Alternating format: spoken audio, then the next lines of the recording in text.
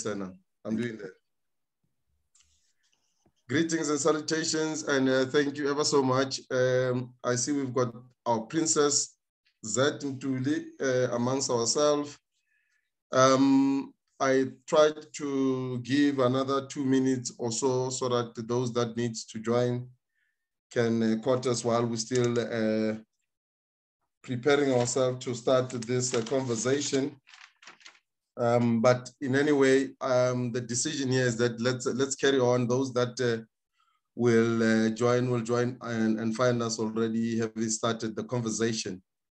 Um, my name is Butisipe. I am the chairman of uh, SALGC, South African Leadership Gentlemen's Club. Um, and thank you ever so much for coming through to uh, engage with us on uh, this uh, Sunday afternoon. That also you find it uh, prudent and uh, uh, affording that you, you, you, you join us this afternoon. South African Leadership Gentlemen's Club, it is a organization, it's an NPO organization, non-profiting organization that was established in 2019 on the 6th of October in Hammanskraal, um, where uh, we, we saw a need that as men, we need to have a space where we can um, enlighten ourselves and, and, empower ourselves. The, the organization's vision and mission is purely sitting with the empowerment towards a man and boy child. And this is to respond to the ill or the social ills that we are seeing in our country, where men uh, are violating other genders and where men are also uh, not taking or at least uh, given the privilege to be also heard from their uh, own self or own side of things. South African Leadership Gentlemen's Club is an organization that is driven from the five uh, pillars that uh, governs uh, what we are all about. The five pillars in a brief. One, the pillar one, it is about mental liberation. that mental liberation is talking to this kind of engagement where we are talking as men or talking as a, a team to enlighten yourself or to enlighten each other and uh, be in a space where we've got information, hands are better off in understanding some of the things and what is happening around us. And the second uh, pillar talks to the protection of uh, uh, those that are vulnerable and also to respect self and respect those that we live amongst. Uh, these, uh, we're talking respect to the women, respect to the children, respect to the elders, as well as uh, protecting them and uh, not bringing any harm. Third pillar talks to the uh, utilization or at least having a relation, relationship with uh, the resources that we have. We're talking here money. We're also talking here uh, land, where we are saying, in terms of the resources that we've got, if you've got a land, do know how to use it you don't have to wait uh, uh, to be told how to use a, land. You can plant some gardens in your, some vegetables in your yard so that at least you can have self-sustenance. We know these are tough times. When we talk about money, we are saying, uh, let us move away from the illness of uh, already wanting to be consumers of uh, the hardship money that we've already uh, worked for over the month and we are quick to be seen as spending and splashing our money recklessly so that at least uh, it becomes a cyclic behavior. We're trying to come into that space to say it is uh, uh, of importance that we find ourselves wanting to do the things right. So that is the relationship that we're talking about when we say a relationship with uh, the resources. Um, the fourth uh, uh, uh, pillar talks, it talks to the engagement or at least having taken those resources that I earlier spoke about and uh, fortify our local economies. We, we're talking about uh, empowering those that we know have got businesses amongst ourselves, that they also can be seen to be supported and uh, where they then inevitably put back into the communities that supports them. So we, we, we are strongly uh, uh, uh, supporting those that are that we're living among our locals. We are supporting the products that are being done or at least manufactured in South Africa, and we encourage our members to do so. The fifth and the last pillar talks to the necessity to engage and bring in the youth of this country and uh, try to bring some sense into uh, making them not to be kids who are just wandering this, around the street. We say through the boy child program, through mentoring as Charles we need to be seen uh, working closely with our youth. By the way, a country that does not uh, look after its youth is a doomed country. It's, it's simply uh, justified to say we do not have future if uh, we are not going to be looking after our youth. So um, is more into uh, wanting to work closely with our youth to guide them so that at least we have a better future lined up for the leadership that we want to see in the future. It also talks to this pillar, talks to the advantages that we want to take in terms of uh, the changes in technology, the changes in what they call 4IR, uh, industrial revolution, to say we need to move with the times. Hence, uh, this opportunity to also make this uh, uh, engagement on a platform such as Zoom, so that those that can uh, uh, want to join are far from ourselves having to meet in a community hall. Not that it's the wrong thing, but far from that particular community hall, if we were to hold this meeting, that they are also are able to connect through the kind of Zooms, the kind of Teams, and the many other platforms that we know on the social media that can enable us, as well as the other tools that can enable us to be a better organization. That, ladies and gentlemen, is a brief uh, uh, introduction of who South African Leadership Gentlemen's Club is. Let me then take the opportunity to introduce our speaker, our guest this uh, afternoon. This is Ntate Mbodi, uh, Enos Mbodi. Ntate Enos Mbodi is the National Secretary of NUMSA in uh, Eskom. He works at Eskom. He is a Sub-Saharan Energy Network chairperson. Ntate Mbodi is also a commissioner in the Presidential Climate Commissioner Commission uh, since 2020 to date. He's, uh, he's been involved and uh, trying to make input into those aspects that talks to climate. Ntate Mbodi also, he's uh, an author.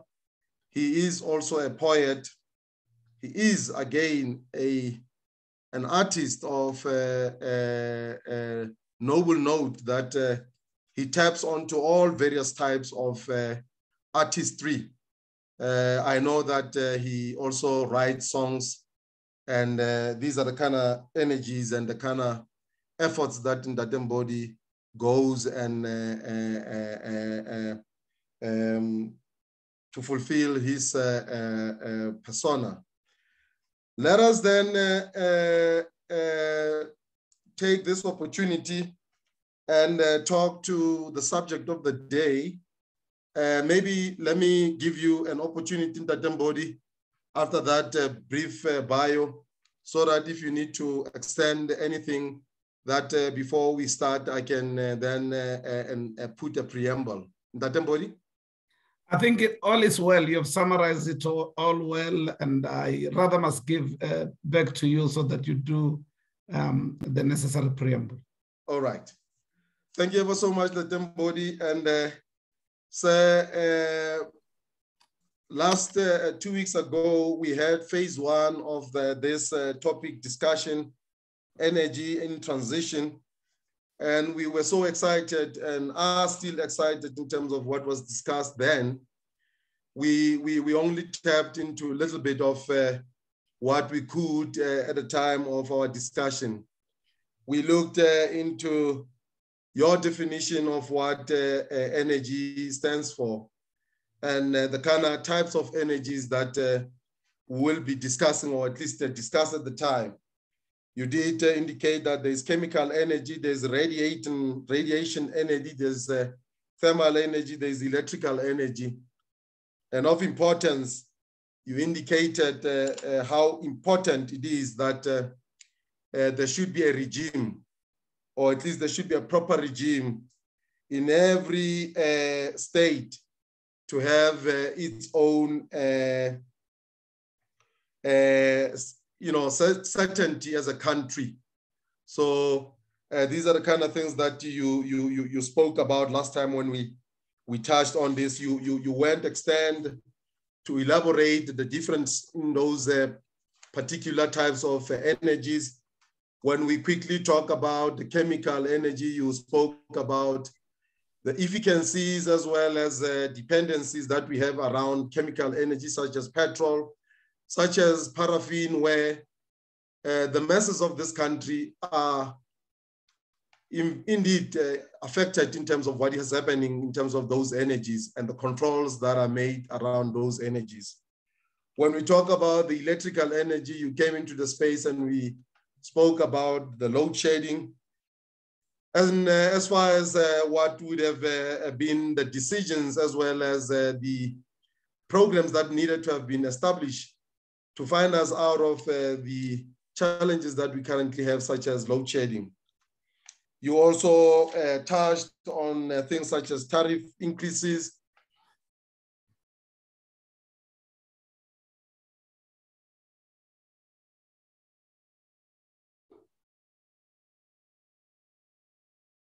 Uh, the South African uh, country or this uh, South, Africa, South Africa as a country to not really uh, take advantage of its own resources such as coal, its own resources and uh, the kind of manufacturing things that it would have done previously, such as Sasol, where we manufactured uh, our own petroleum and so forth.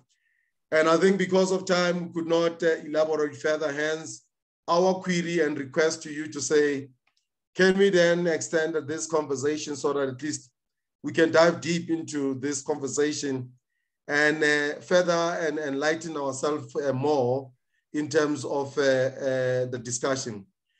It is then and that uh, Mbodi my turn to uh, give it back to you, sir, with this uh, uh, preamble, sir. Take over. Thank you so very much and welcome. I mean, I, I, I thank you very much for this opportunity. Uh, there is a wide range of topics that one can um, uh, really go into, but this one uh, it's really prioritized because of its high importance to every human being living in this country and elsewhere. Just remember first that at some stage we accepted that we are part of the global village.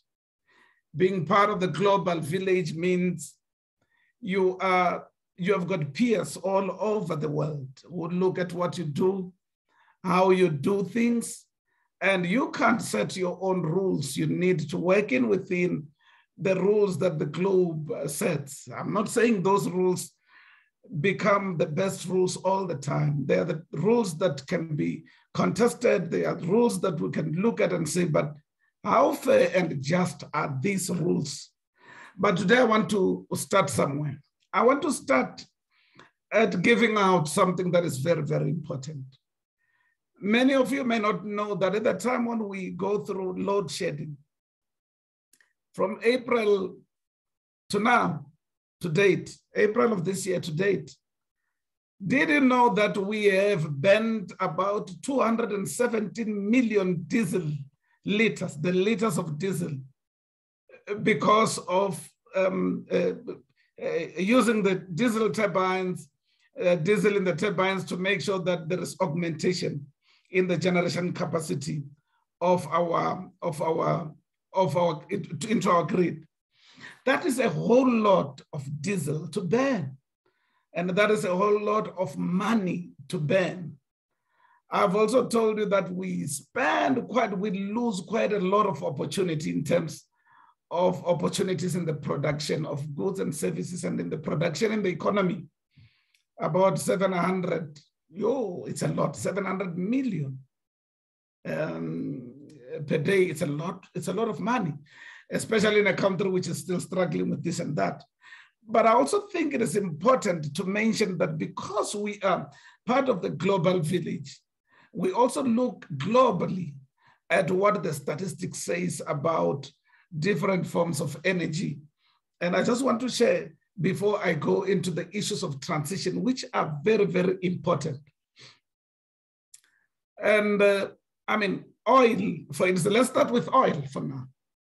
At the current rate of use, the whole world has got about 40 years of reserve of oil. Uh, so at the current rate of use, which means as we continue to use in the manner in which we use it, if all doesn't change, the reserves that we have left is about 40 years reserve. When it comes to natural gases, uh, excuse me for that, natural gases at the current use, we've got about 60 years according to the current use. So which means if we use it the same way as we are using it, we are going to have about 60 years left at, as, as, as, as the reserves. Coal, at the current rate of use, we have got 200 years at the current rate of use. Yeah, that is a, a long time. Uh, but I want, I want to indicate something which is very important. When we were looking at the sub-Sahara in terms of the energy mix, when we're talking electricity, I did say that there is a part which is played by nuclear. Now, nuclear, we have got, uh, for those of you who do not know, we have got a power station in Cape Town, which is called Koeberg. And it happens to be the only one in the sub-Sahara. And um, it can produce large amounts of large scale electricity without increasing the CO2 emission. So if somebody is talking about clean energy, this is clean. It may not be green, but it is clean energy in that we don't have emissions that are going um, uh, to increase.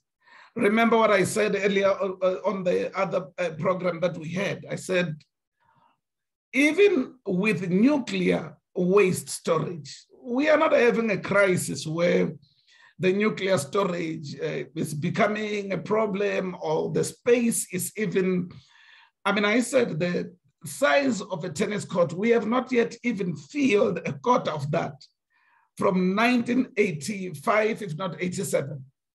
So uh, indeed, in the whole world, you have got 440 power stations, which are nuclear across the globe.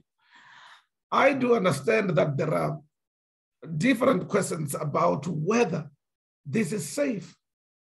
But when I looked at the statistics, and you can go and look for yourselves, we are not picking up mm, as many um, uh, uh, uh, uh, challenges, safety issues with regards to nuclear. We know that there are many safeguards uh, when it comes to nuclear. There is a lot of regulatory issues on nuclear but it gives us a best chance to make sure that we don't drop down with regards to what is called the base load supply. The base load supply is the basic minimum that we need to run our economy, to light up our homes. And we need that base load without interruption. We need that. That is the basic of what we need. And if we don't have that, the doubt is intermittent supply of electricity uh, coming from solar because the sun shines when it wants and when God permits, and the wind blows when it wants and when God permits. And it gives us these renewables, they give us intermittent supply of energy. We can't rule them out because they are part of the energy mix in the country. Um, because in the country we've got energy mix which includes everything from coal. It also includes uh, renewables. It also includes nuclear. It includes biofuel and all that, biomass. But what I want to indicate to you is that every one of the things that are in the energy mix need to be taken and looked at um, in context of our situation in the country. How do we deal with this energy mix? How does it help us? How does it take us forward? It doesn't help us to cut, copy, and paste. We can't cut, copy, and paste because when we cut, copy, and paste, we can take the solutions that are working for other people and try to make it work for us. That was so that I may introduce these to the uh, people that were not there the last time around. Now, the global village, because we're part of the global village, has found out that there is climate change is issues. And these climate change issues need to be dealt with urgently. For instance, this past week, we have seen how there were rains that are unnatural during winter. Some of us are taking it light, they call it, I winter yaphela. It actually means winter is coming to an end. And then others will say hi uh, this rain is just ushering a, a, a, cold front of sorts.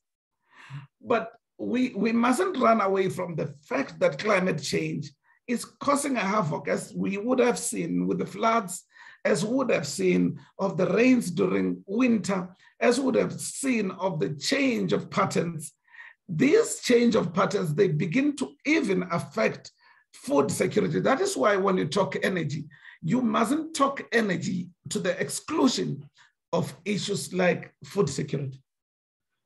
Why food security? They are uh, uh, droughts that we are not anticipating naturally. They are coming as a result of climate change. Climate change is drying some of the rivers that today um, are useful in order for our people um, uh, to, to feed their, their flocks and to, uh, to do their laundry and, and all that. And, you know, then it also affects, drought also affects what? Water security. And I've already mentioned that drought can cause food shortage and can add to food security challenges and food poverty issues, which uh, goes further to increase our poverty level. Because all these things they work together for good. You can't simply take away energy uh, take away food security from climate issues and take away uh, water uh, security issues from climate change. I want to tell you something that i discovered the last week I went to East London, and when I went into this particular hotel, I could see that written uh, in the restrooms that people should use water sparingly. And something said, you need us to go and check what is the reason for that. Their dams or their reservoirs are close to, to 0% very, very close to disaster. They are in the brink of disaster. What is the cause of that? The, the rain patterns, the droughts that are not natural, that which are caused, which uh, are caused by, by climate change, has begun to be a big problem in East London.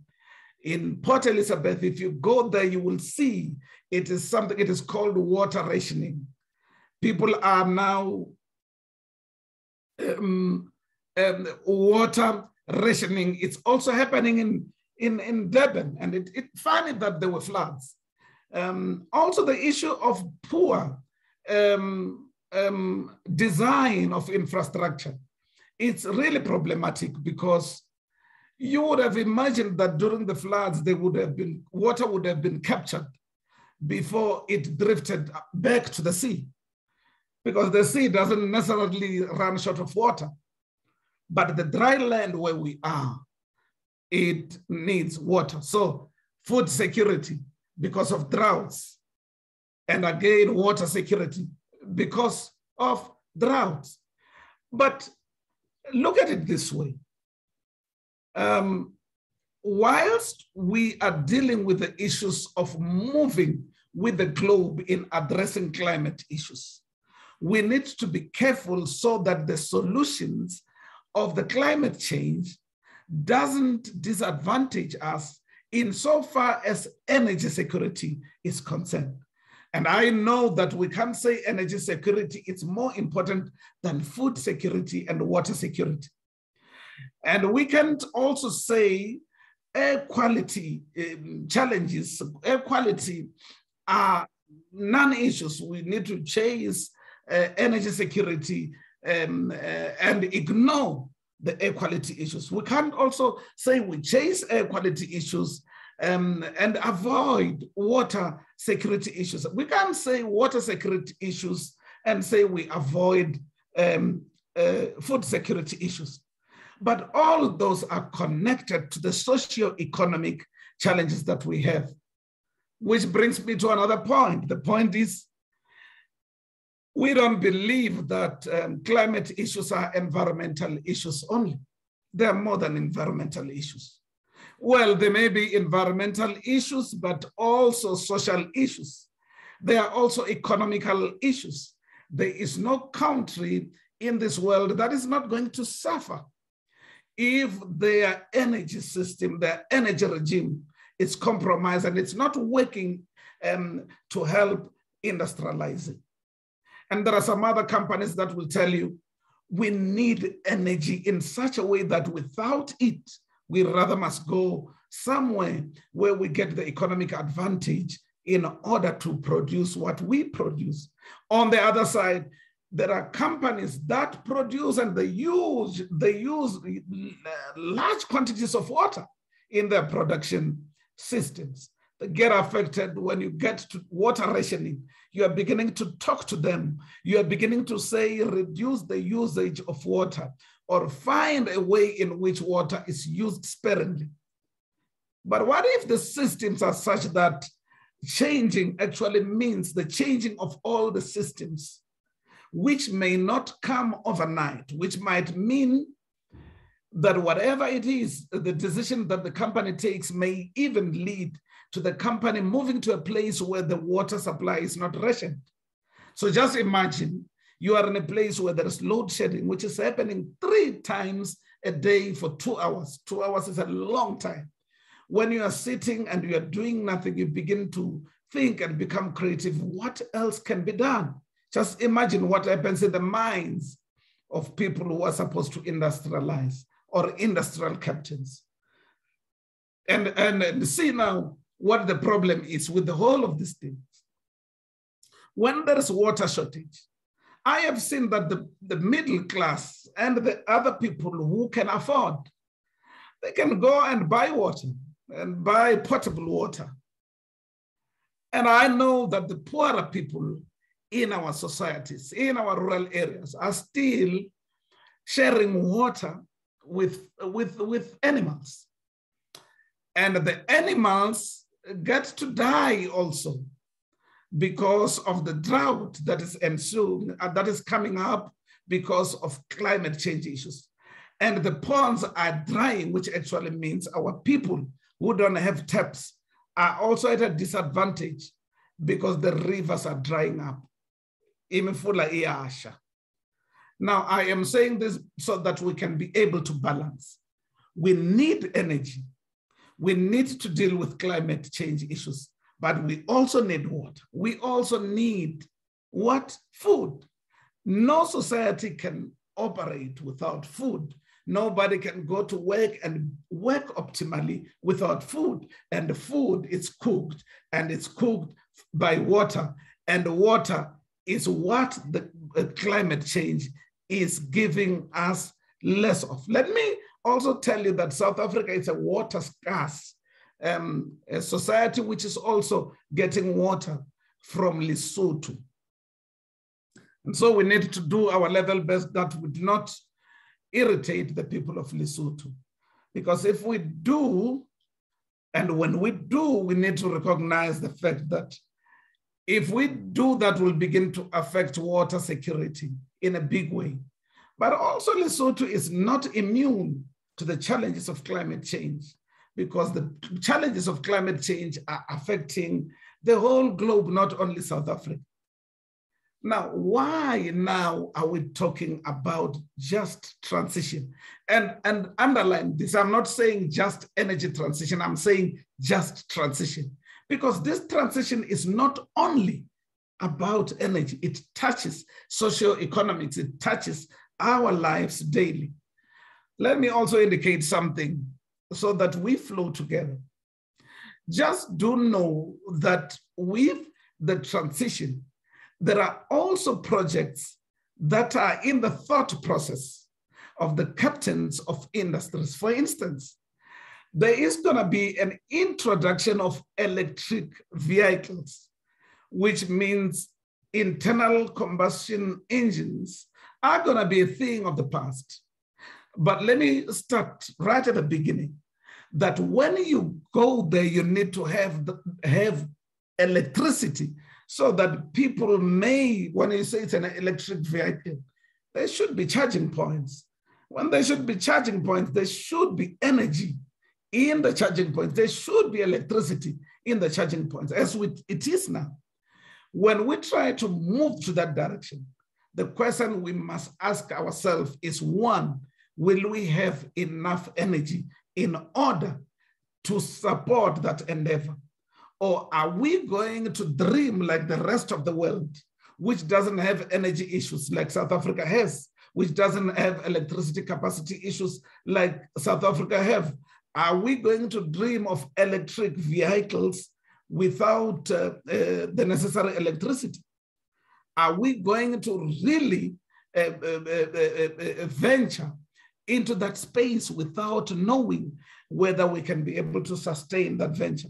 Number two, do we have the skills in the manufacturing side of things now, the skills to manufacture those vehicles? I mean, I was reading a report this week that says there is an acute shortage of skills um, uh, uh, in the EV uh, side um, to promote a steady growth of the EV. What does that mean? I have said we have already youth unemployment at, at its worst stage. The country has got huge amounts of unemployment um, levels, and we are talking poverty that is, uh, majority of our people are actually living in poverty. Most of the people that are working they don't have any money to save. They are supporting families across who are not working, who are poverty stricken. So there is no creation of wealth because you have got to save first before you invest. Creation of wealth can't happen in the place where poverty is sucking money uh, from a majority of people who are working today who don't even have increases that matches the task at hand of feeding these families. Now, now you don't have the skills. What happens? The bosses are not so much worried about whether the skills can come from South Africa or anyone. But here's the danger. When, when we transit and we move towards a climate resilient economy, we need to have the skills that support that supports that, which is exactly why it is important to make sure that our ducks are in a row. We mustn't dream too much.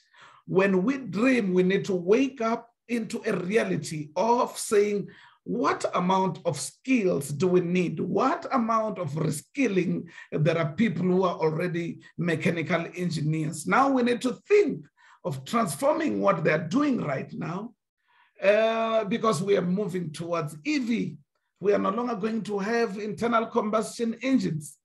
But we cannot also sleep to the fact that the world is moving towards EV. But when we move, we need to have skills ready. If we don't have the skills ready, what happens? We are going to import the skills. By importing the skills, we'll be taking the money out of the country. But is it not that we should be able to plan this at the speed and pace and the ability of the fiscus, not only of the fiscus, of everybody involved in the country.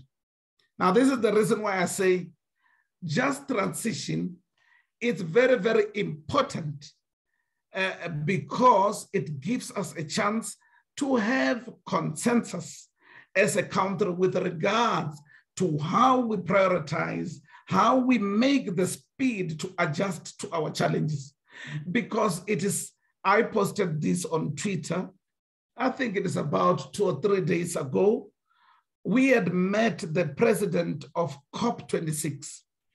COP26 um, uh, uh, or the COP meetings is where each and every year annually for two weeks, uh, the presidents and uh, all the activists, they, they focus their eyes on new developments with regards to climate change issues. And the president of climate change of COP26 was in the country. We were invited. I was invited by uh, the embassy of, of UK. Went there, and as we were talking to them, I was the only uh, presidential commissioner in the meeting. The others were secretariat of the support. And uh, by virtue of me being there, I had to, to give a talk about the sensitivities around this transition we're talking about. And I mentioned that there is a danger that South Africa can be an international star who is a national disaster. National disaster because the people will look at us and say, you are running at the speed uh, that is not um, talking to our fiscus, the ability of our fiscus to carry the burden of transition. So transition, it's a movement from where we are to another way the economy needs to run, which is climate resilient. Climate resilient meaning it should consider the challenges of climate. We should look at air quality and say, as we produce air quality, how are we improving it? Or how do we continue to dirtify? Do we continue to make dirty the, the, the, the, the air quality?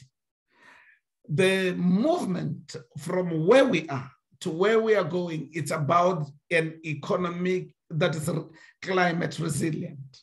So what is this EV vehicle? This EV vehicle will make sure that there are no emissions, no exhaust uh, issues. There are no nothing that will go up into the environment.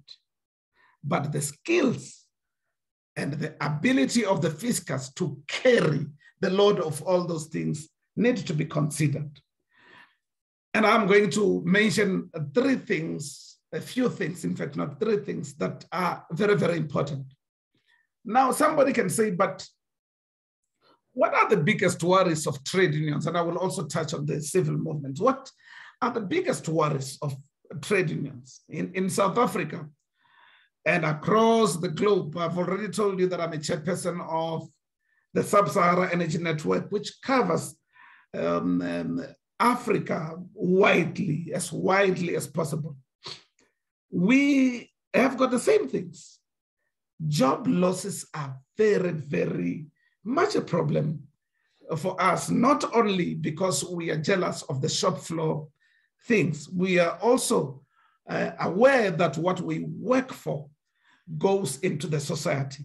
And what goes into the society actually supports the economy.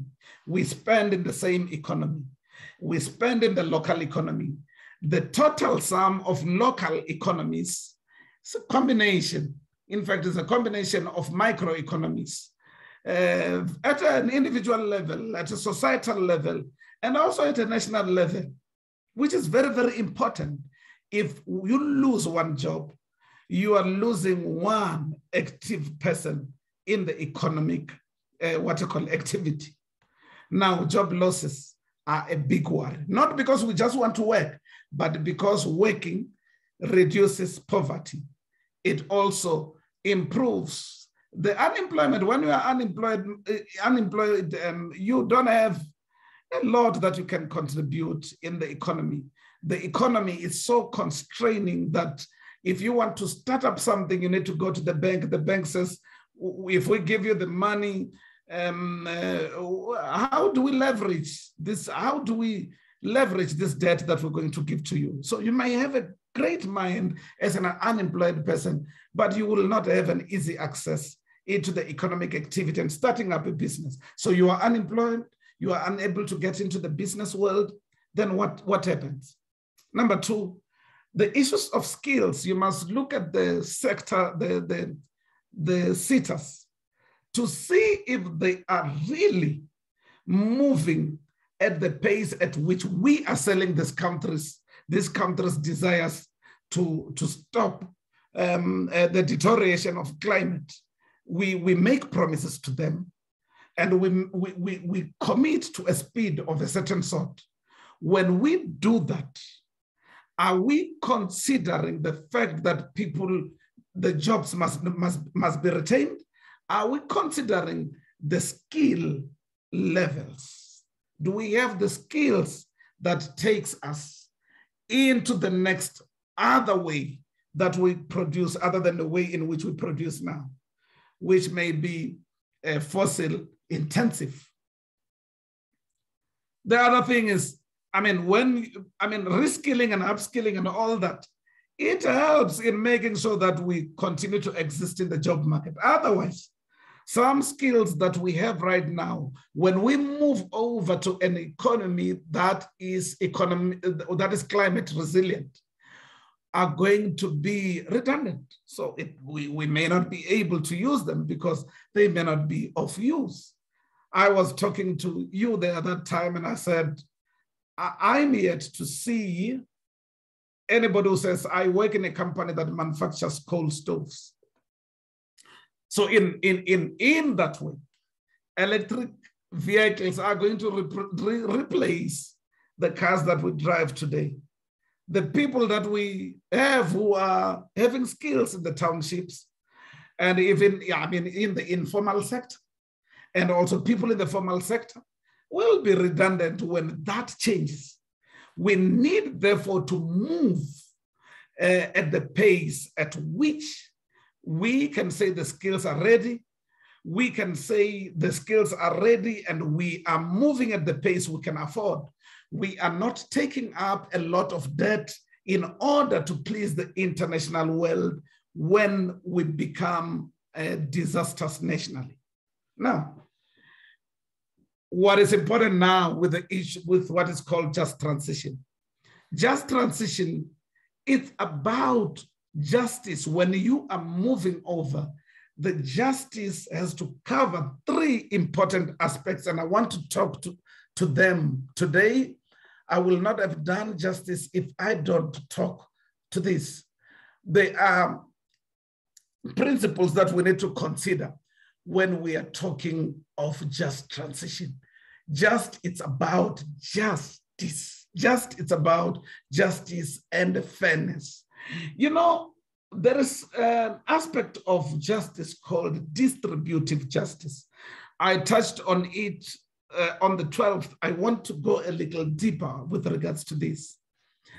Distributive justice actually means that the opportunities and the risks must be distributed fairly across cognizant of gender. Now, let me talk a little bit about gender. I've already indicated that in the good olden days, we used to have women, not in the good olden days, because even now in rural areas, people are still cutting woods, deforesting, cutting wood in order to warm up their houses to build fire by which to cook and whatnot. And if you are spreading any opportunities and risks, you must be con considerate of the fact that the rural women are already carrying a huge amount of risk we need to take away from them. I've indicated what happens to them when they go to cut the wood. They even get raped. They go through a whole lot that a woman in the city doesn't go through. So as and when one is worried about cooking food here in the cities, somebody's worried about the wood that can cook that food. If the wood is there, if the wood is wet, what actually happens?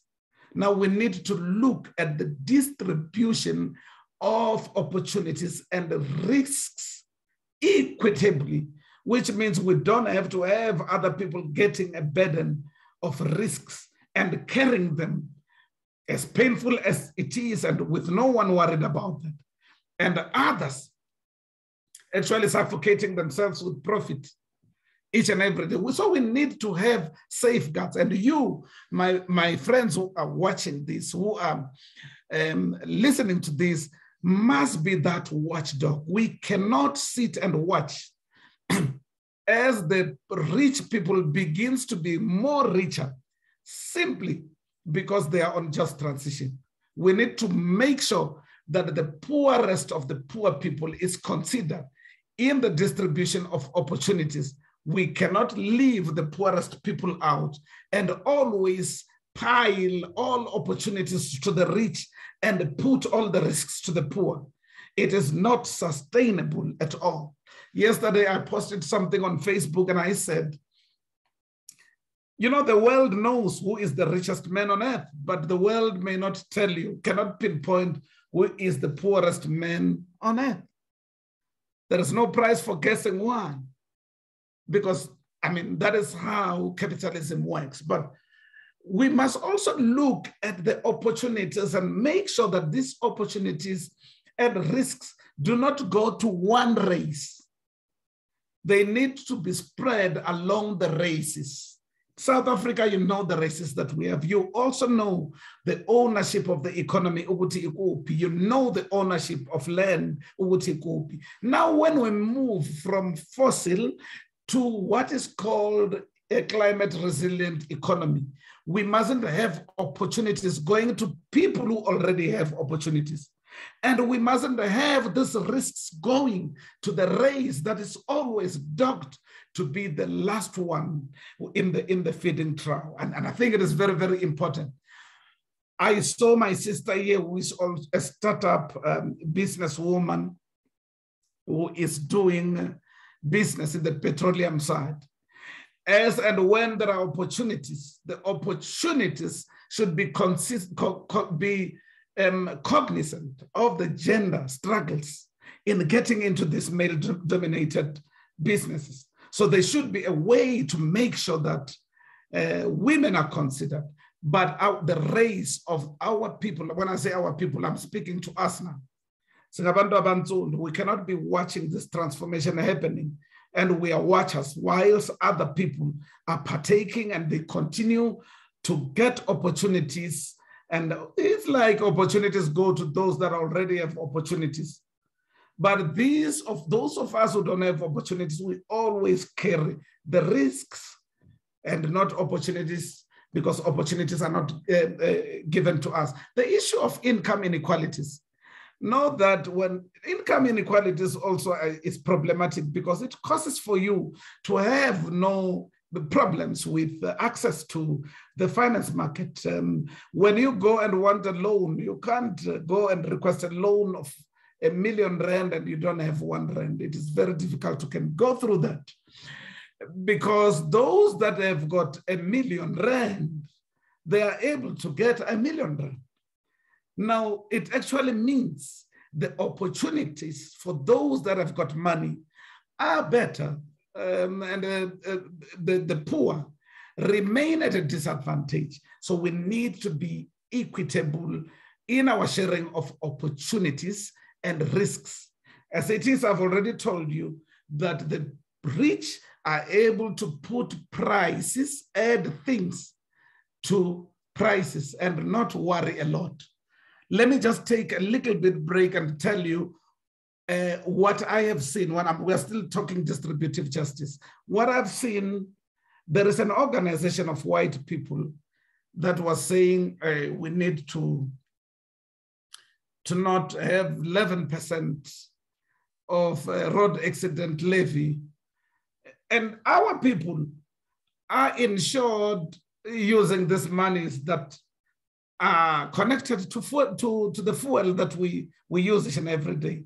When the petrol price goes up, consider that, that South Africa may not be like other countries that do not charge fuel levy. fuel levy and other countries that charge road accident uh, fund levy. Now, this white organization is saying, ah, let's do away with uh, road accident fund levy. And some of you might as well know that that road accident fuel levy uh, costs as much as 11% of the retail price.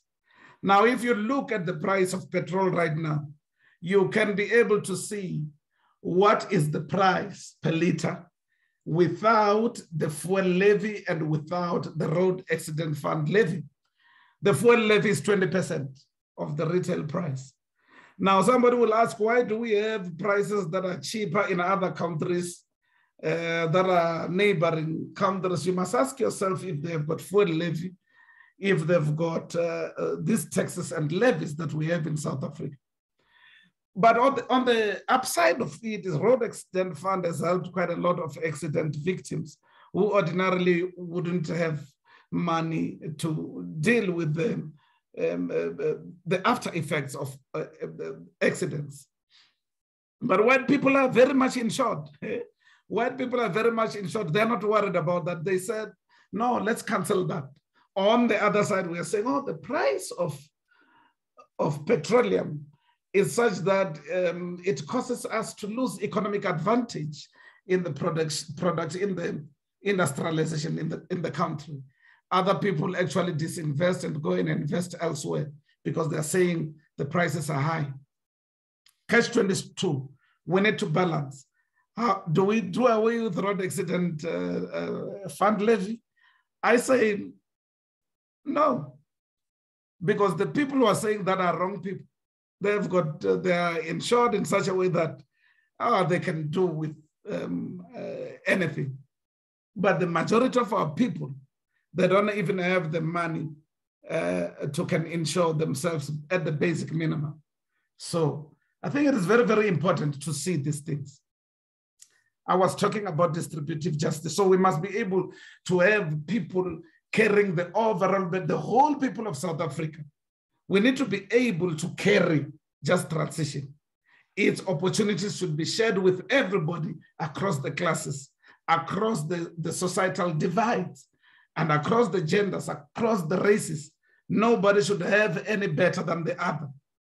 And so I think it is important to note that, therefore, I've already mentioned that we need to be able to make sure that the skills of South Africans across the board uh, is ready to, to play in this just transition as we move to the other side, to the climate resi resilient economy, we need to be ready. We need to have had distributive justice, which is the first thing. When we do that, we need to have social policies that are clear with regards to making sure that there's distributive justice. Let me just make an ex example. There should be a way in which we promote, we improve the capa skill capacity. We should have what is called um, when you have closed a local economy because you are moving from this direction to the other, you need to promote local economic development. You can't cancel this one out and have a vacuum. So it is distributive justice that will force or... all of us okay that will force all of us to have uh, to promote local economic development. And it is it is all of us who need to think about what are the social nets that should be there when we move. Some people can talk against the grants. I say grants are very important so that there should be food on the table. Uh, somebody will say, but look, the tax, the, the tax uh, basket is shrinking. But I want to, to, to argue that, be thou as it may, the issues of grants and other social network protection is very, social net protection is very, very important in just energy transition. We, it needs to be inclusive. Let's move to restorative justice. Restorative justice means we need to be cognizant of the health challenges in places like Mpumalanga, where there is both Eskom and Sasol, there are also um, air quality issues. There should be a consideration of health um, challenges. And so special hospitals should be built there. That is restorative. And wherein there are mines that are mining and they are depleted, there should be a restoration of the, the, those, those places.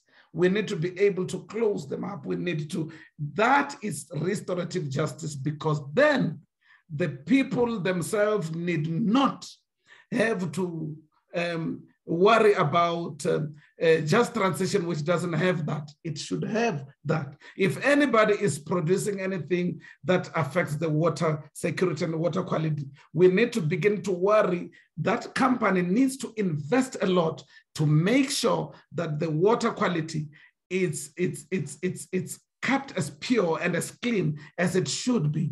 And it is very, very important because other companies, they will tell you that uh, they will make the air dirty and when they're done, uh, they will just reap the profits and not even employ people from the local uh, space. So restorative justice is very, very important. We need to create opportunities also. Remember, I've already indicated that the ownership of the economy is in a few hands. Restorative justice also talks of creation of, um, uh, of, of uh, opportunities, not only retaining them, but creation of opportunities. We need to be able to create opportunities for people who are going to lose certain things in the transition. That is restorative justice. And air quality needs to be checked. Water quality needs to be checked. Whoever is affecting food security, who has taken land that is arable land, land that can be used to, to make food available, need to be available also to, to give alternative space where the people can go and, and, and, and farm. You can't say, I am going to produce this at the expense of food. No, we need to think of restorative uh, uh, justice. And we also need, we cannot run away from broad-based black economic empowerment. Although it has got its downsides, we cannot say because it has been abused and used uh, incorrectly, it shouldn't be part of the deal when we talk restorative justice. And also, I want to talk about now the last one, which is called procedural justice which leads uh, to a very important question. Do people even know that South Africa has committed itself to move in a very fast pace, to also touch a resource of this country, which is coal, which is giving advantage uh, on the other side. I don't know, some other people will argue and say, but it is part of the challenges of our emission that need to be addressed uh, of coal, yes. But people should not refuse when there are alternatives, um, issues like clean coal technology. People should not refuse to even hear that and just hate the, way, the word coal. We should not have hatred which is sponsored for coal. We should say, are there any technologies? Is there anything that is happening that can give us and continue to, um, um, uh, uh, to energize our economy with coal. Or we will simply say we have got paid for coal. No, we should be able to say, are the people aware that even the cost of this transition can affect your, your, your sovereign debt for years to come? Are the people aware of even the definition of just transition? Why do we even need just transition? are the people involved in so far as these talks. And we're not talking about talking to each other so that we can rush and tick. I'm talking about proper decision making, sitting down, drafting pathways, making sure that the people decide and say, we want this because this is good for us. We want that because that is good for us. We understand that when we move from coal, we are moving the advantage that goes with it. But when we move, this is where the jobs will come from. This is where alternative economic activity will come from. The people should not be told that. The people should design their way forward. That is procedural justice. Procedural justice is to take this problem, these issues to the people and let the people come up with solid input of how people can move from this to that. Now, I am saying this because I have seen a lady who says she is into the petroleum business. I think right now, now that the move is still being talked about, a person like you need to be in the places where people are talking about energy issues and climate issues. because they are interrelated. And interrelated as they are, they are socio-economic um, issues that are politically decided upon. And we are saying procedural justice is to take the debate from the high tables to the lowest of the lowest places where people can be found. And the people themselves can decide what they want. And also all the just transition projects that the people say um, uh, they, they, they think this can be useful in transition. Those should be implemented for those people. I will just make an example. If there is a community that says, we want to have our own renewable energy scheme, and we want to power a school or power a church, they should be support financially and otherwise to make sure that the people are not only involved in talks, that they, they become part of this project. So procedural justice starts with how we come up to solutions. We cannot have scientists coming up with solutions for us. We cannot have foreign governments that are in Europe making decisions for us and our people having to watch with no input whatsoever, no benefit whatsoever, no projects of theirs that are supported. And so that is why procedural justice is very, very important in so far as just transition is concerned. I would have told you earlier on that just transition is not just energy transition. It's a transition that is moving us to a climate resilient economy. The economy that is taking care of its water resources, which is making sure that the water resources in the drought um, that is being caused by, uh, by, uh, by climate change are taken care of. And I am saying there are many people here that are listening and who are watching who know of things that can be done but who also can talk to the powers that be wherever they are to say, look, we cannot have floods and not have catchment area for water. Water cannot go into the sea when the sea doesn't need water and when we need water and we don't have the infrastructure that does catchment. We need to, to, to think clear, clearly about our sewage systems, about our drainage systems to say, but how can we secure the waters? how about we do something that is called water harvesting? Why don't we do that? In some rural areas, there were some JoJo tanks, and there is a whole lot of uh, criminal and corrupt activities that has been connected to those JoJo tanks. But water harvesting is very, very important in a water scarce environment like this. But procedural justice will ask you this question Are people aware of that? Are people part of those decisions? Are people part of the benefits? because you can't just have people being part and other people are part of the benefits.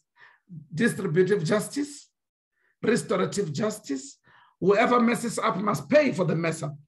We also believe that other companies need to pay reparations.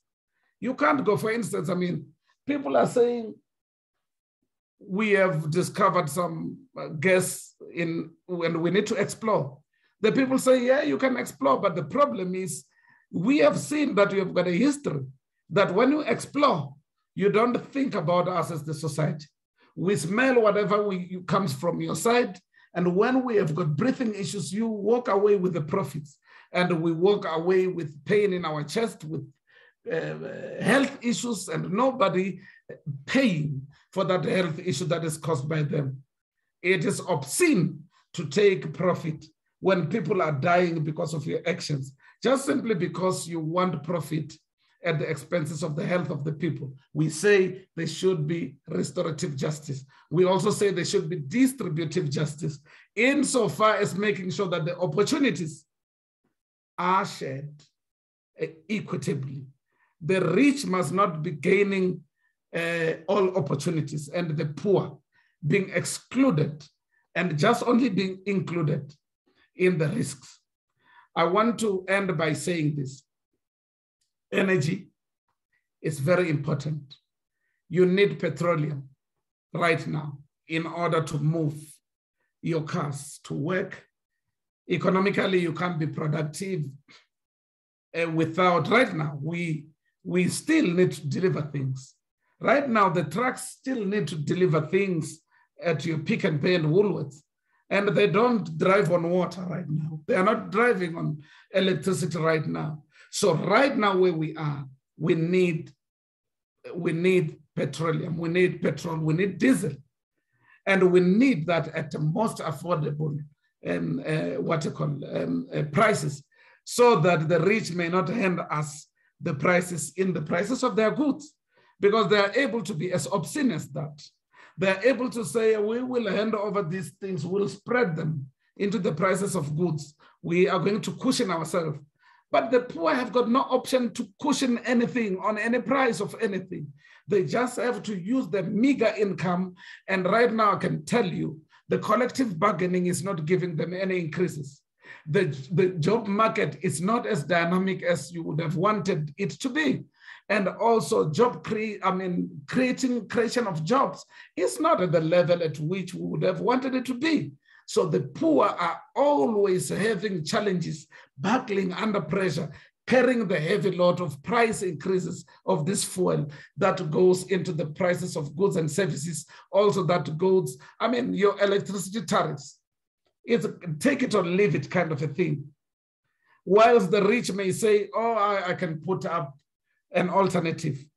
And some of the middle classes, ah, I will put up some alternative. The poor, the, the poor people don't have that alternative. They have got to regress and go back to go and cutting the wood. If Eskom would cut them off, they become part of those that are in energy poverty. We can't sustain an economy which is having separate development that way. And I want to say to you sitting here, we need to begin to rethink how the poor have suffered in the hands of distributive injustice, where everything is shared amongst the rich, which is good, and the poor only get the, the disadvantaged side of whatever it is that gets implemented. I do now know that gas um, exploration, we are uh, having quite a lot. LP gas, by the way, comes um, as a byproduct of um, your refining process of crude oil and whatnot. We are importing just about 80% um, of crude oil, we are importing that. And in your refineries, the byproduct of that is LP gas. And I think it is important to note that most of it is produced locally. But I want to indicate that though it is produced locally, we need to endeavor to make sure that everything that comes into the picture that helps your energy regime, all the people should have access to opportunities and risks. There is something that is called hydrogen that is, is being talked about. I met with a certain professor from uh, University of Northwest this week, and he was talking about green hydrogen. And I'm saying, you, do our people even know what green hydrogen is? It is only a few people who know what green hydrogen is. So if you don't know, how do you even get into that business? If you don't know, how do we even partake and participate? It is these things that exclude our people. And it is these things that we need to make sure that they die a natural death. And this um, presentation that I'm making to you is to whet the appetite for us to know that energy is not as simple as just flicking a switch or worrying about the increases. It is as socially and as economic, but also as political as possible. And we need people at all those spaces playing in policy formulation. We know that policy formulation may start at a certain level and end at Parliament. But sometimes, even though they are consultations, the consultations just become very academic, tick box exercises. And whatever that you say and make input of, it is not even considered in the final product, production of the document. And nobody even, even sees uh, uh, uh, what was the criticism of the input of the poor people.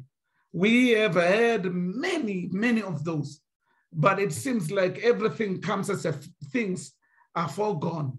it would seem like as long as the international world, the IMF and the World Bank and the global north has decided, the people here receive it, the businesses and governments uh, take these shared solutions and make them sound like doctrine, sound like religion. You can't oppose it. You can't make input. It is almost like the Bible, which you can't edit. You can no add, people are editing, but you can't add anything and subtract anything. It shouldn't work that way. Our people should make input in everything, including uh, what the white people are doing now, saying 11% uh, of a road accident fund levy should be dropped. We should have our own people saying, no, it shouldn't be dropped because of this and that reason. We should also understand why petrol is expensive where we are. We should be able to see that there is 20% of petrol levy that is going into the roads and whatnot. And there is also 11% that is going into the insurance that deals with the after effects of uh, road, road accidents. We need to know that we are moving. We are moving from petroleum driven cars to electricity driven cars, which means petrol attendants must understand and know that their jobs are moving, are, are dying a natural death. There should be a way to make sure that uh, they do not get excluded in the decisions. Is anybody talking to them? My question is, is there anybody including them in debates and hearing from them? Is there even anybody worrying about their skills at a garage level? People who are pouring petrol. As and when petrol won't be poured, what happens to them? As and, as and when the garage closes for a food store, what happens to them when they don't have anything else to do because we've moved to something else? I think let me stop here. And um, I know when I talk, I'm a little bit preachy and fast, but it is to try to make sure that at least we cover what just transition is and what it should cover and what is the role of people like us. We have got a role, Chairperson. We have got a role that we need to play. And I am telling you now, there is no one who can say the door is closed. We need to if we doors are not being opened, we need to kick doors because gone are the days when we'll sit and watch and worship the emblems of our political parties and worship even the decisions that do not make sense and worship at a cult level people and we do not look at the principles of where the things are being driven to so energy is being driven into a certain space but are we all ab- aboard uh, the final parting shot is to say it is always dangerous to not be found at a station ready waiting for the bus. It is always dangerous to want to chase the train from behind. We may not catch it. The danger of chasing the bus is we may not get it because the bus would have uh, gone past the station. But right now we are still able. And I want to challenge us after this uh, chairperson, I want us to agree that we will go into places where these decisions are made, make input. There is no need for us to talk to each other and feel good talking to each other. We must talk to the powers that be, and our views should either be rejected or accepted than our views staying in our briefcases. Thank you so much, Chairperson.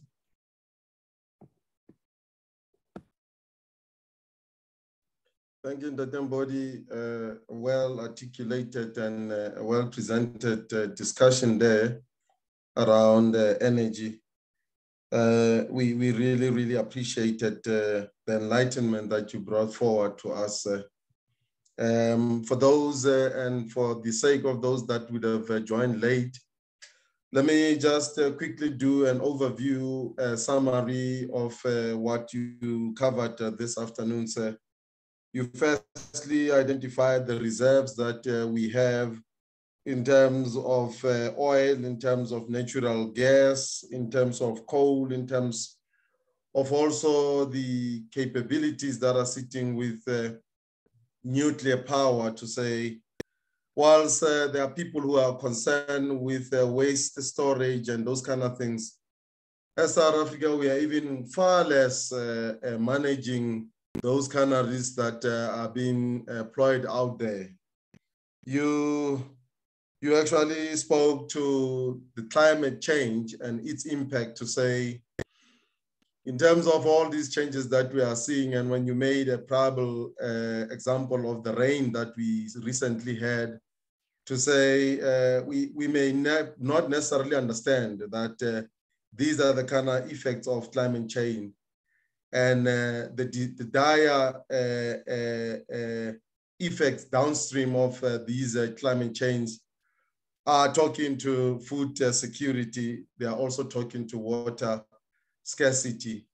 And you went a deep dive into the challenges around uh, food security and what it has uh, to the mere man on the street, the challenges that we have in terms of water to the mere man on the street and uh, to a country which is a third, third world country such as, as, as South Africa, where we needed to already have gotten plans in place and also uh, be in a space where we act towards uh, providing solutions that can sustain these things because these are resources or commodities that are depleting at a high rate and there seems to be nothing that is happening.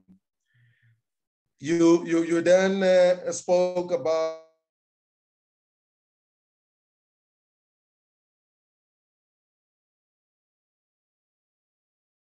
ignoring the, the changes that is happening around ourselves.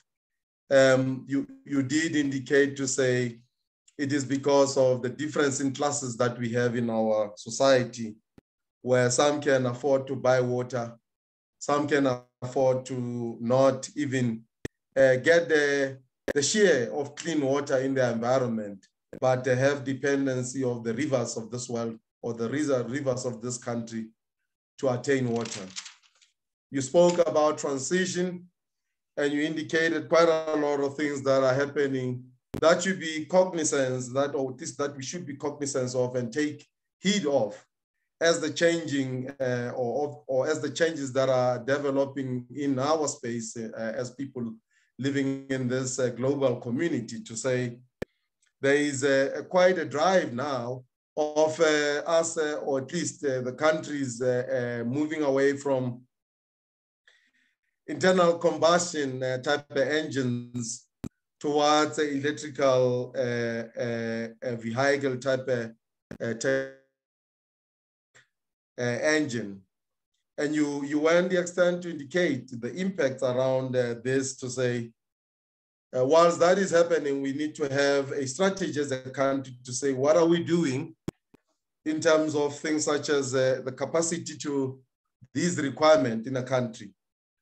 Um, these are talking to the plug-in points for those EV cars that are coming into the space. You're talking about the capacity to support in terms of skills that are required and how its a downstream uh, impact uh, also needs to be recognized where uh, the mechanics that we have, uh, uh, those that would have done artisan work such as mechanical uh, work for the engines, how they will be impacted. And as you indicated rightfully to say, we need to have a good audit skill uh, at least to, to, to be in a space where we are not only dependable on the external people to drive this kind of initiative in our country when we've got people with brains in this country. You, you, you want to say there needs to be a serious planning around these things so that the transition is smoother. This entails the engagement of uh, our people.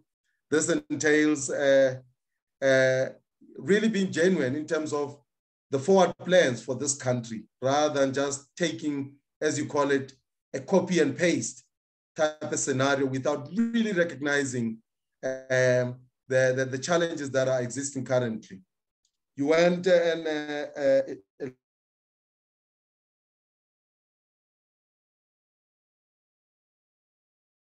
put all of those uh, uh, pointers in their own spaces. You you spoke about distributive uh, justice, where you were really hammering to say it is important that uh, all the opportunities that are coming with all these technological changes, as well as how energy is now going to be consumed or at least be used, that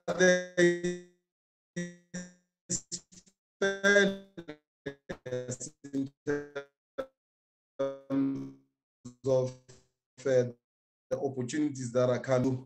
You spoke about uh, uh, the 11% discussion from a certain group that uh, was uh, querying to say the road accident fund must reduce its 11%, and it's a discussion that probably some of our colleagues here in the plenary would want to take up. But yes, you, you did highlight that. You spoke about the social policies that should uh, really, really strive to want to bring us uh, uh, closer as a, a, a, country where all the social network uh, uh, protections are really, really put forward. Here you are talking about all these uh, grants that are being given to the people to say, well, that is being done, there needs to also be something that balances all of these things so that we're not just a country that is dependable on social grants, but we also have got a reserve or at least some kind of balancing act that uh, would sustain those uh, uh, grants. You spoke about restorative justice, and I like it because uh, this uh, talks to how uh, manipulative some of the external partners, as well as those that are coming from a far north, would do in our countries or countries or a continent such as Africa, and we've seen it, it is not uh, something that we should be shying away from. You, you are indicating to say there needs to be proper restorative uh, justice in terms of those that are impacted by the technological advancement that are brought into the space. When we are talking about clean air, when we are talking about uh, uh the, the kind of uh, uh, processes that are being done in those spaces where people are living. You spoke about procedural justice as well to say it is important that everything is done above board without fear or doubt so that uh, uh, uh, the engagement or at least when something such as this is now put towards the rollout of the, the benefit of the country, that people are not questioning to say, how did it happen? Where, where were we? Uh, how, how was this uh, uh, made as a determination for us or on behalf of us when we're not part of it. These are the kind of things that you, you, you flagged and you indicated to say, and I like it, you said the people should design and not be told of uh, what is going to happen. They should be part of the process uh, so, so that at least we have a harmony towards uh, the of uh, whatever technological advancements such as EV that is coming our way you did indicate the challenges of the down uh, impacts of uh, these kind of changes, such as uh, patrol attendants, to say uh, they should be in the knowing that uh, come sooner or later we will not be filling uh, our cars with gas, but we'll be plugging ourselves from home, or at least there will be those plugging points where we just have our cars so that they are charged. That, that, that would have been a, a pretty much summation of what you, you tapped on, Ntate Mbodi. And we thank you ever so much for such a, an opportunity to enlighten us. Let me then open up and uh, let other colleagues in the space to then raise uh, questions so that at least once we've got time here uh, to further uh, clarify some of the things that were discussed uh, part of uh, the uh, over summation that I've just given now. Let us open up to the team. Anyone who wants to raise a, a question or a point of clarity?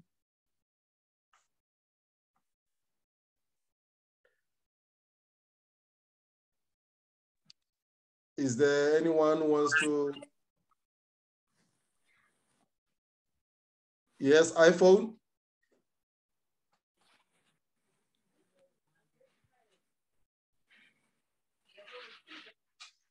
You can go ahead, sir. Is that me, leadership? You can go ahead, yes.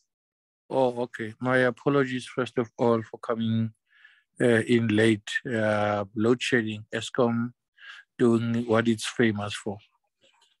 I have missed 90% uh, of the presentation. I'm not sure if my question is really going to be relevant.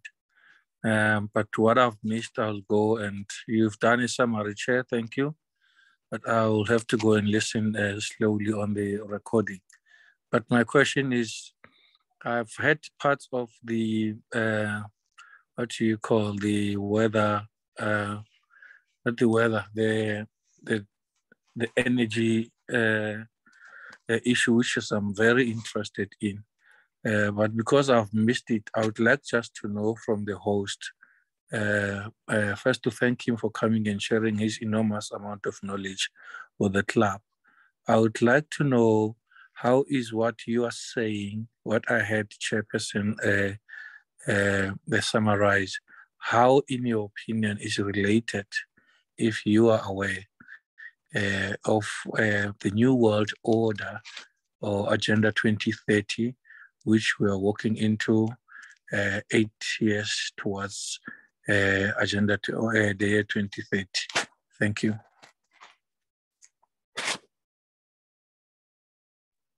Thank you, and uh, Tabakwe, for the question.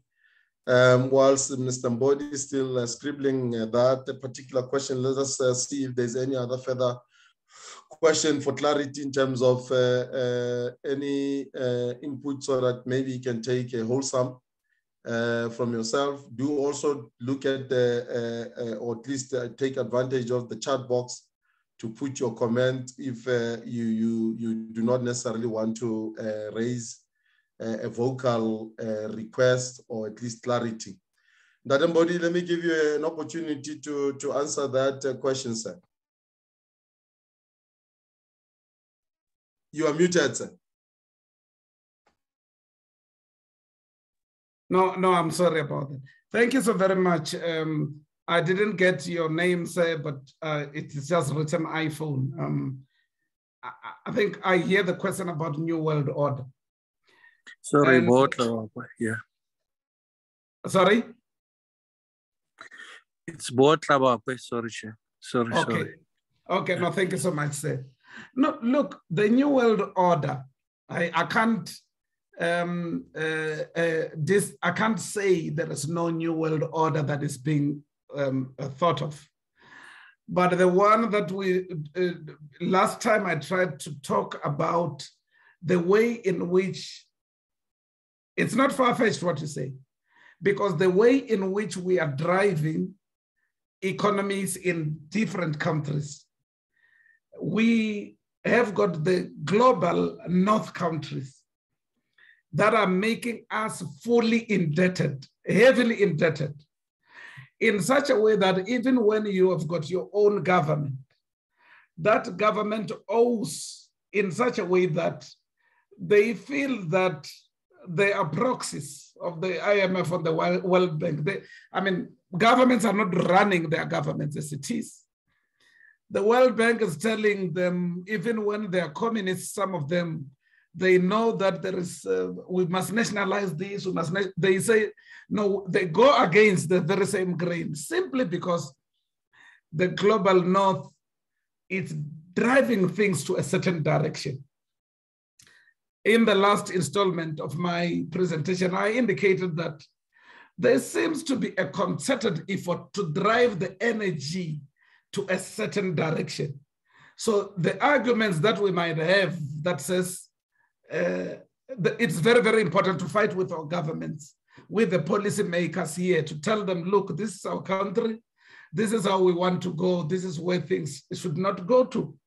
So now I'm not saying the new world order in this thing, it's, it's not involved. I wouldn't pinpoint it directly and say, I know for sure. But what I know is that there seems to be a direction for the World Bank and the IMF, the global uh, North countries, to want to control, to start by controlling countries in the South, countries that are poor, countries that are already owing them enough uh, to, to, to allow neoliberalism into, into their countries. So I know for sure that we are not governing as we want to govern. We are not ruling. Our people are not, those that are in power, they are really not in power. That is, they, that is why they go to Geneva. Why would you go to Geneva? To do what in Geneva? Why are they going to that uh, pilgrimage uh, in inverted commas in Geneva? That is where people are committing and moving, agreeing to move in a certain direction, which would mean globalization. It starts with globalization, that we might end up with a new world order. I don't know if this is uh, one such trait to move energy into that direction. But having said this, climate change is real. It needs to be addressed.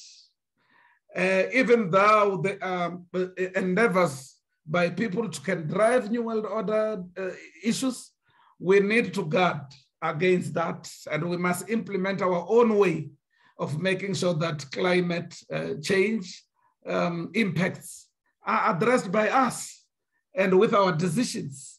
And nobody must go and take additional debt without us saying that is what we need. That is how far I can go. I can take this, um, Chairperson.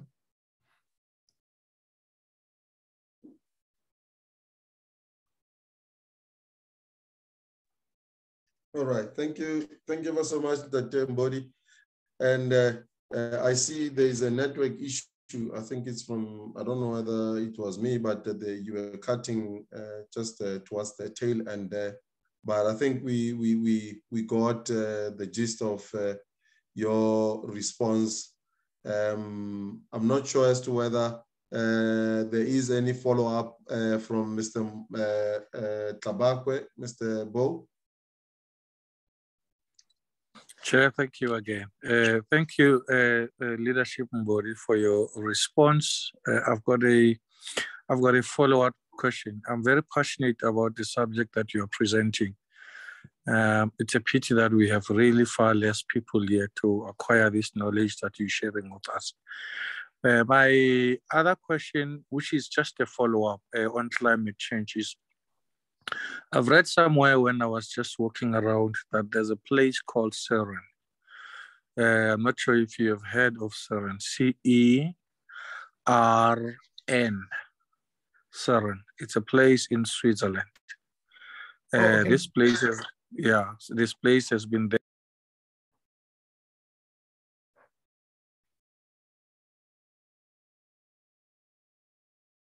Leadership, we, we, we you are muted, sir.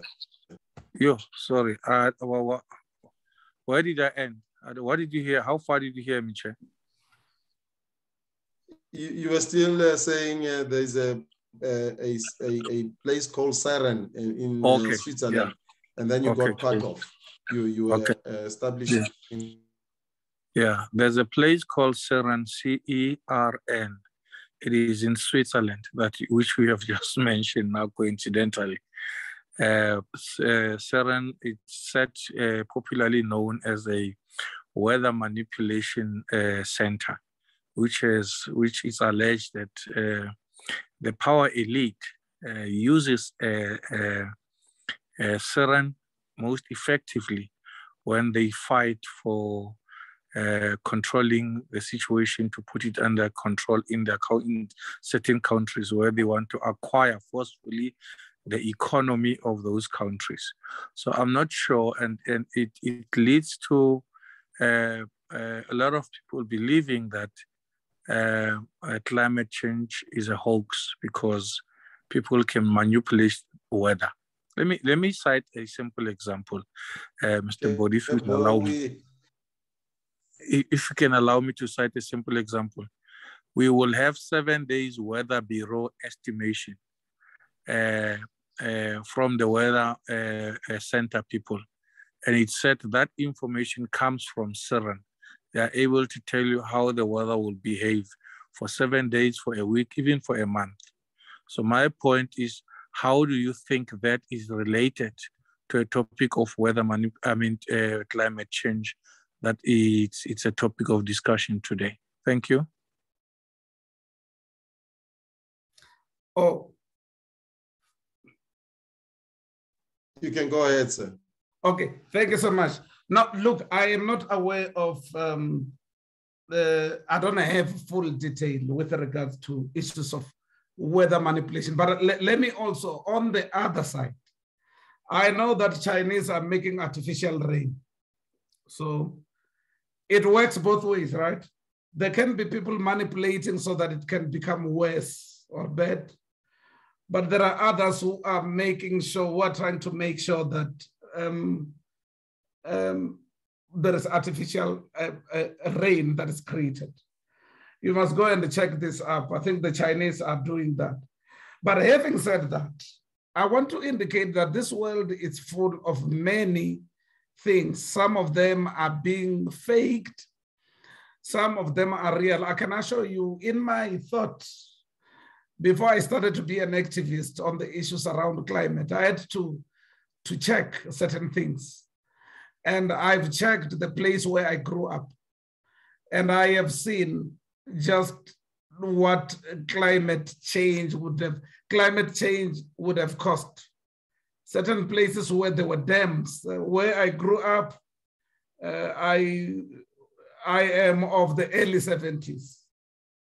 So where I grew up, there used to be a dam. And today where there was a dam, uh, there was now a soccer field. And now I see that the soccer field is now turned into, they've plowed on it. So there are, uh, there is uh, umbila.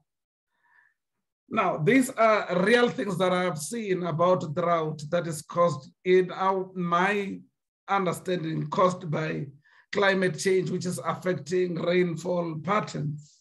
Whether they are uh, manufactured or not, I don't have the full benefit of information with regards to that. But I consider the difficulties the people where I grew up are having now, now that the water in rivers have dried up.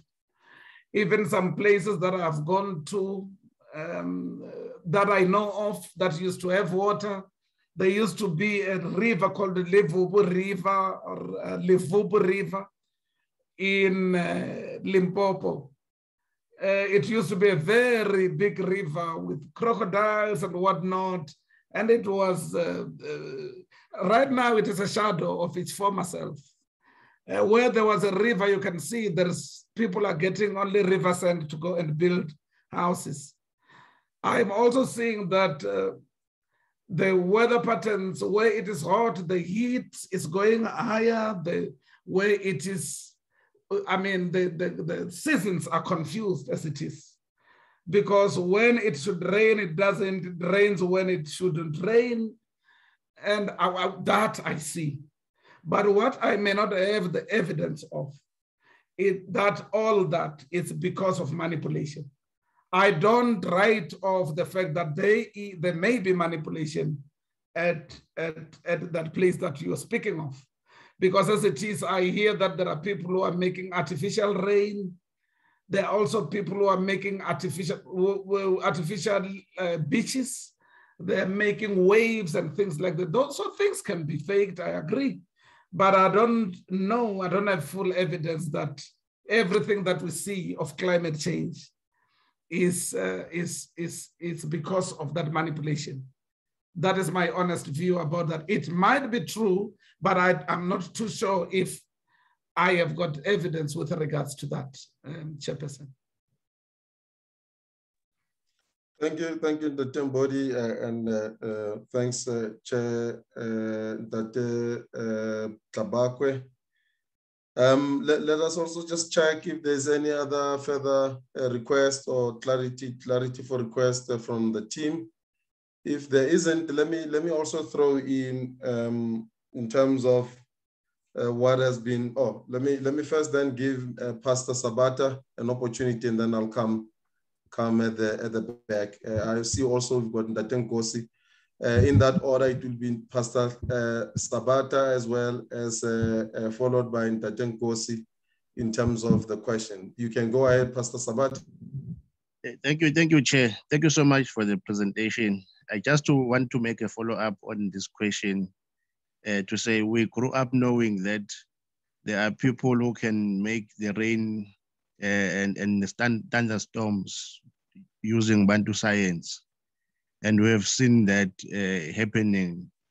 So it's possible that people uh, can manufacture the, the artificial rain and also manipulate uh, this climate change uh, from, from, from, from that experience that I have.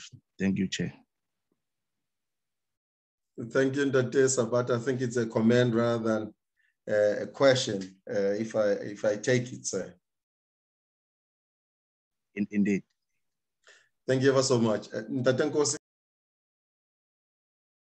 uh, thank you, Chair. I think I also want to thank the Chair, the, the presenter, Mr. Mbon, for such a, a sterling job. I think on my side, what I picked up more was the importance of ensuring that we've got the resources and the know-how to able to move with the new technologies or the new uh, direction that the this sector is, is taking. I think that's partly why SALGC exists to empower, emancipate men to make sure that we are ready for opportunities. And I think uh, the, it is true that there are a lot of things that are going around, and it is important that we get the proper information. Hence, we the people like you, um, Mr. Mbodi, are here to give us a different perspective on what we normally get from our media and, and the resources that we use. And I think I just wanted to thank you for that. And I think uh, myself, I'm getting ready to empower myself in these skill sets that are going to be aligned to what the future uh, is, is, is, striving towards. It's, it's certain, the future that is certain, and I think the sooner we accept and align, I think the better. Thank you, sir. Yeah. Oh no, through you, Chairperson. Thank you, sir. You can go ahead. No, thank you so much, Mfundisi. Uh, Pastor Sabata, thank you so much. Yes, and I must say, even in biblical times, eh, there has been drought in the Bible, and uh, seven years of drought, seven years of abundance. And in the time when there was drought, there was no food. So people had to move from a certain space to a space where there was no drought in order to get food. What we get to see now other than the making of the rain, the issue of manipulation, is the fact that indeed drought causes that there be food insecurity. And it also talks to water scarcity. And that is a problem that we need to circumvent. Meanwhile, there are people who may be manipulating. We need to find a way to reverse some of these things. If there is anybody who is manipulating, there is a way to make sure that the manipulation doesn't succeed.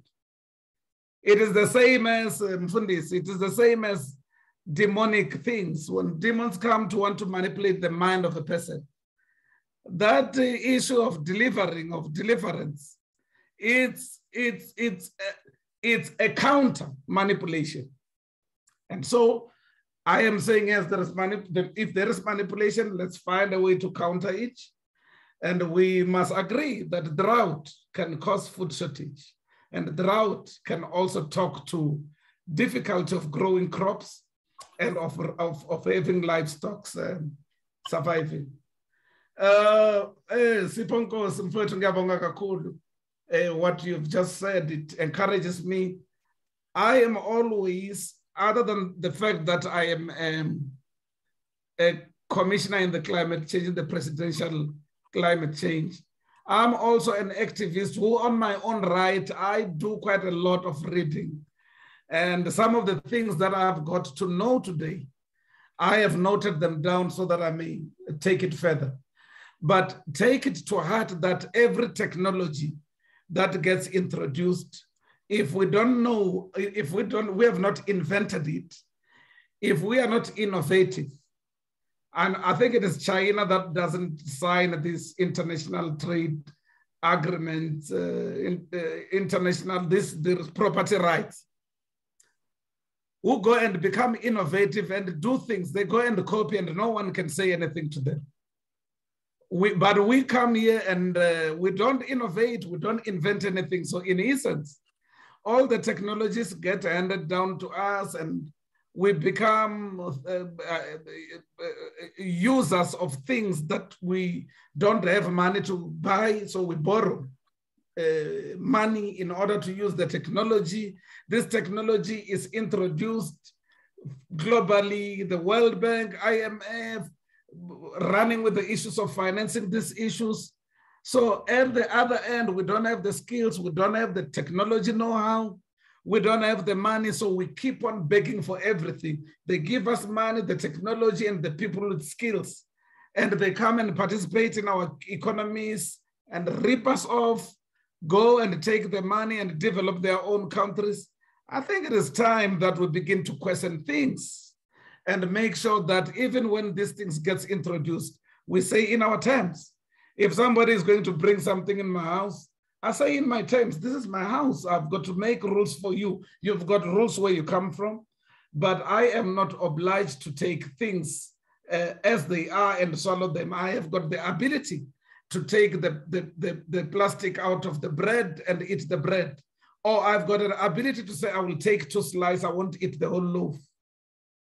I think that is basically what we should do with the issues of technology. Thank you so much, Chair. Thank you, Mbodi. I saw a hand and it went down from Mr. Tabakwe there. I don't know, sir, if you still want to raise a question or point of clarity. Yeah, Chair, I was hoping that there will be other hands going up. So maybe I've, I've, I've spoken too much. So maybe I must come again. This is very exciting. I like what Ntate Mbodi is saying. My, I've got two questions based on what he has just said. I think the first question is, uh, you have spoken much about, I think we, I think we, I think we, and you're talking a collective there, and this is very exciting. I love that. My question, therefore, is how do we make sure that a uh, everybody wakes up it becomes a we? How do we conscientize the whole society to wake everybody up? Because i look at this very important topic today in this meeting. We only have seven people in or eight people or ten people.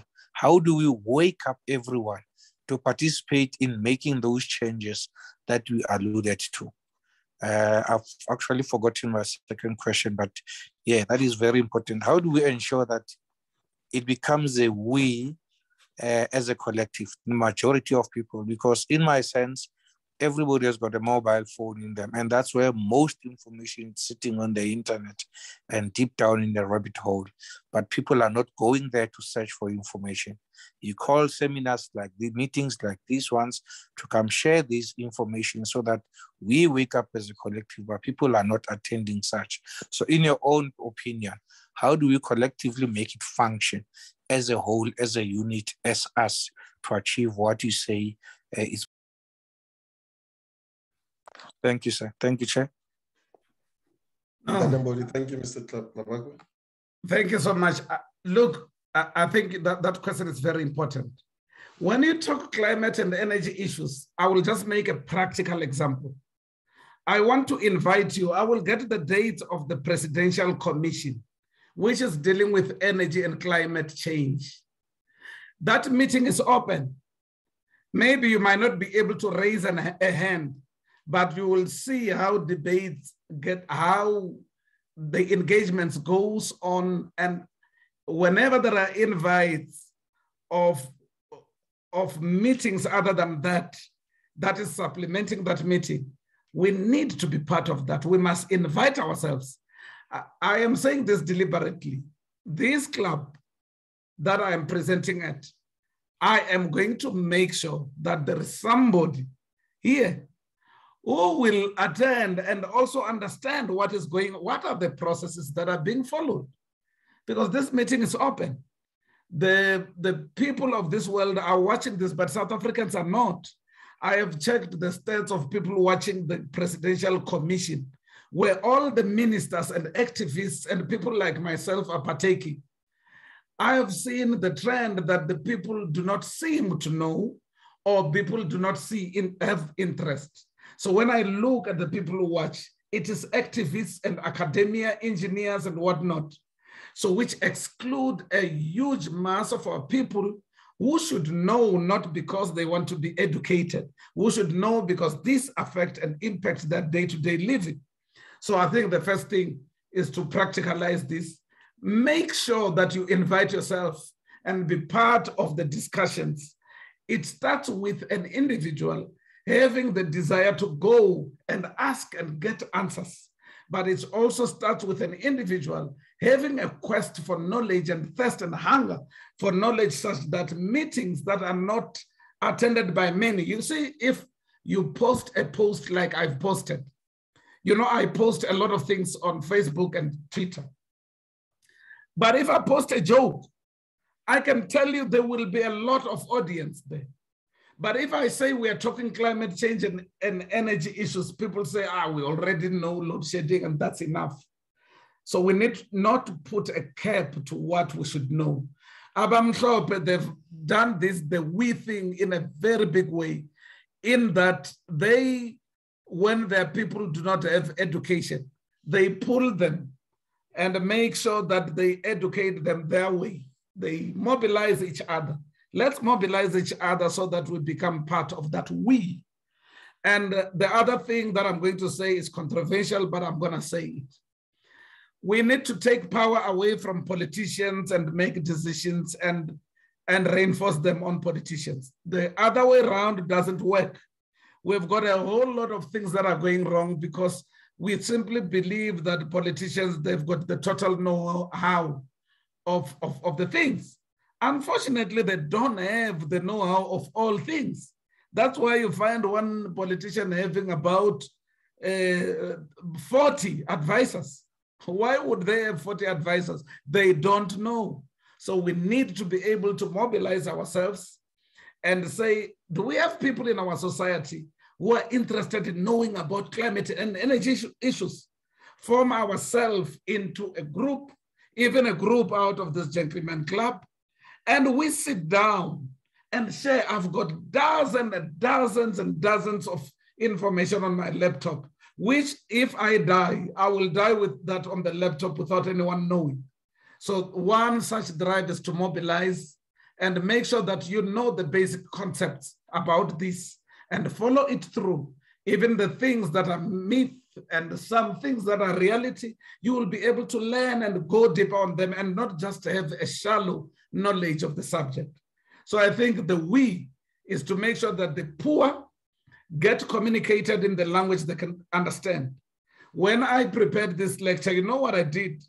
I declare, I, I, I broke down certain um, concepts to make sure that they are understandable. I didn't bring about scientific things, technical things.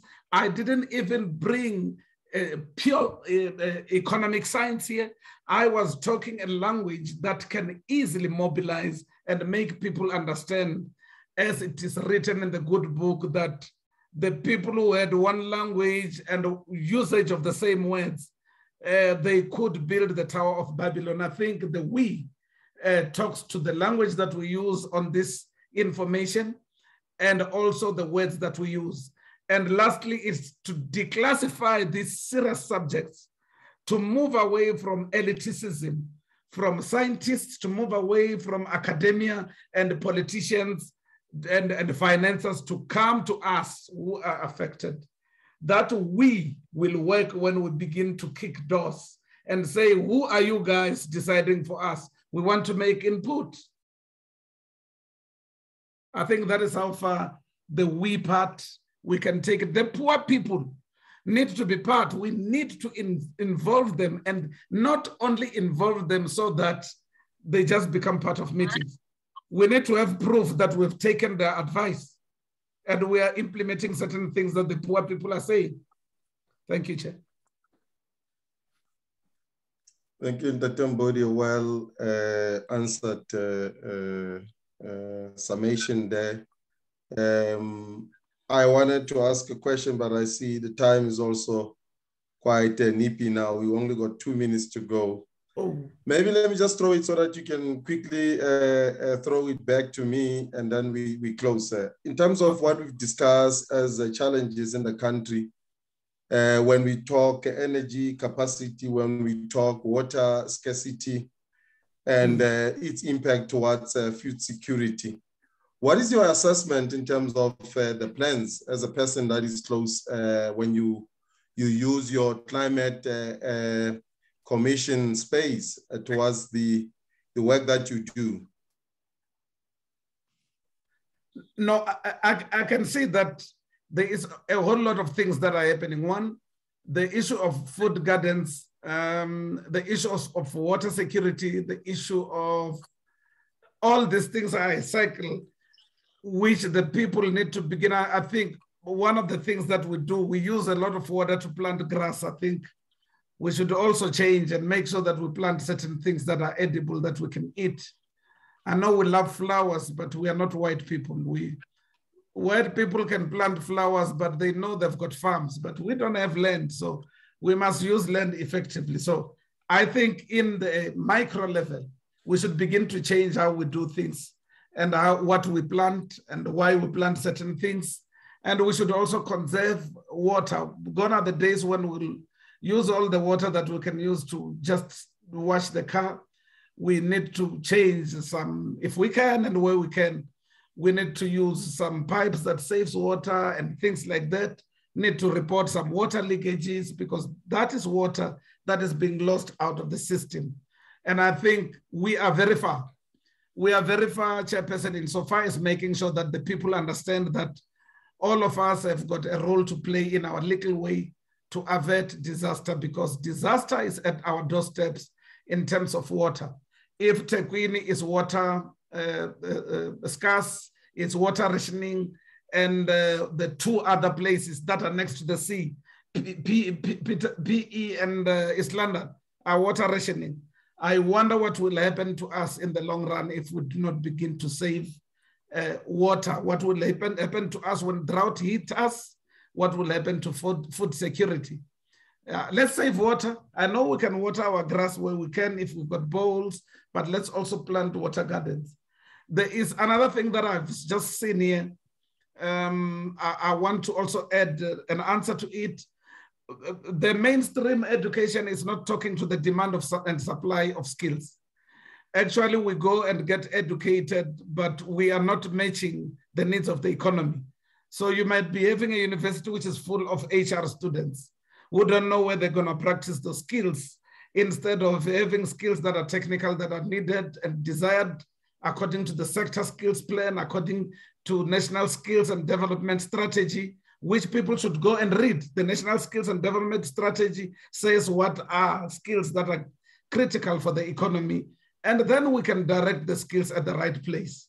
So it is, it is a problem. The world will show us the things that we need to implement, knowing very well that we don't have the skills. So they keep their own unemployment at acceptable levels by sending people to us who they've rejected in the, that side. They come to this side and get opportunities that are supposed to be ours because we are not matching our education with the skills that the economy need. We've got set of skills that are not needed. We know how to play rugby, but this is a soccer game. So we have got a, a, a square peg in a round hole. Thank, thank you, you ever so much, Dr. Mbodi, and sir, thank you for the honor to have uh, uh, enlightened us. Uh, we appreciated the time and the effort uh, that you made available uh, to yourself so that uh, we, we can have this engagement. We hope and still will be on the lookout for those invitations. We really would want to take the opportunity to be part of making advances, at least for those that have not heard or at least realized the importance of such engagement, engagement for the better of others um, we, we, we, we are really excited in terms of uh, that opportunity also uh, coming our way as SALGC. Let me also thank uh, each and everyone that has uh, joined and is here uh, for the privilege of also sitting with us this uh, afternoon and having engaged or at least a listen over the engagement that we had over this topic called energy in transition. Um, we are going to wrap it up here. Uh, I can only wish you everything of the best and uh, uh, stay safe and God bless you all. Thank you ever so much. Thank you. Thank you so much. Thank you, Chair. And I'm Thank available you, whenever you need me. I'm available. Those who need my details, you can share with them, uh, Chair. Yes, I will do but so. I'm available to even attend other lectures, to attend and listen to other people and uh, so. I can and contribute at other stages. yes. Thank you so much. Thank you, sir. Thank you. Thank you, uh, Ms. Ndlovu. Uh, we, we, we, we recognize the apology. Uh, do take advantage of uh, the recordings that will be uploaded on our uh, uh, post Facebook as well as YouTube. uh, indeed, uh, you will you will find this very interesting. Thank you ever so much. Uh, God bless.